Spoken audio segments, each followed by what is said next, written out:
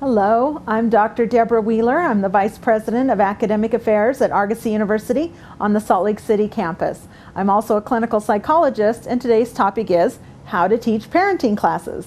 When I was younger, I taught some parenting classes for a local community college district, and we included both the children and the parents in the class. I found this to be a very effective way to teach parenting classes because you had the children there playing with the toys and you also had the parents who could observe their children and interact with their, uh, their children as they learn parenting skills.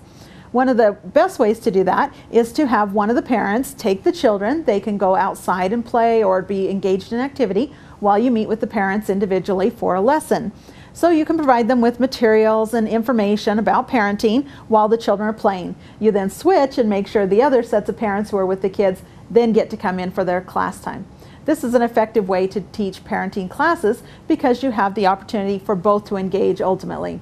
Of course, you want to make it fun for the kids, so plan good activities that the children will enjoy, that you can all interact with together. Make it a fun experience for both the parents and the children, and you'll have successful parenting classes. If you'd like more information on this topic or any others that we can help you with on parenting, please contact us at argosy.edu.